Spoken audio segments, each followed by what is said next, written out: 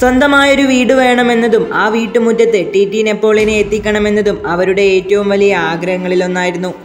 സ്വന്തമായി ഒരു വീടുണ്ടാക്കിയിട്ടും വീട്ടുമുറ്റത്ത് വാഹനങ്ങൾ എത്തുമായിരുന്നിട്ടും അവർക്ക് മാസങ്ങൾ വേണ്ടി വന്നു സ്വന്തം വീട്ടുമുറ്റത്ത് നെപ്പോളിനെ എത്തിക്കാൻ. അതിനു കാരണമായ മോഡിഫിക്കേഷനും ആർ ടി ഓഫീസിൽ അതിനെ തുടർന്നുണ്ടായ പ്രശ്നങ്ങളും നമ്മളെല്ലാവരും കണ്ടതാണ്.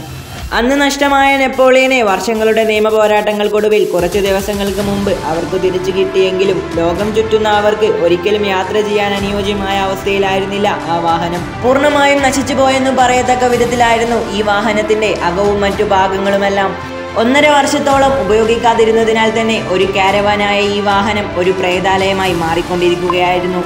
ഇന്നിപ്പോൾ ഈ വാഹനം ലക്ഷങ്ങൾ മുടക്കി പണിത് പഴയ അവസ്ഥയിലേക്ക് എത്തിച്ചിരിക്കുകയാണ്. സ്വന്തം വീട്ടുമുറ്റത്ത് വണ്ടി കയറ്റണമെന്ന അവരുടെ ആഗ്രഹവും സാധിച്ചു. കഴിഞ്ഞ ഒന്നര വർഷം മുമ്പ് പാതി വഴിയിൽ അവസാനിപ്പിക്കേണ്ടി വന്ന വാൻ ലൈഫ് എന്ന യാത്രാരീതിയെ മലയാളികൾ ഏറെ ഇഷ്ടപ്പെടുന്ന യാത്രാരീതിയെ പഴയതിലും ഗംഭീരമായി അവതരിപ്പിക്കാൻ കഴിയട്ടെ എന്ന് പൂർത്തീകരിക്കാൻ കഴിയട്ടെ എന്ന് കഴിഞ്ഞ ഒന്നര വർഷമായി കാണാൻ കാത്തു നിൽക്കുന്ന വീഡിയോകൾ ഈ ബുൾജറ്റ് ചാനലിൽ വരട്ടെ എന്ന് നമുക്ക് പ്രാർത്ഥിക്കാം.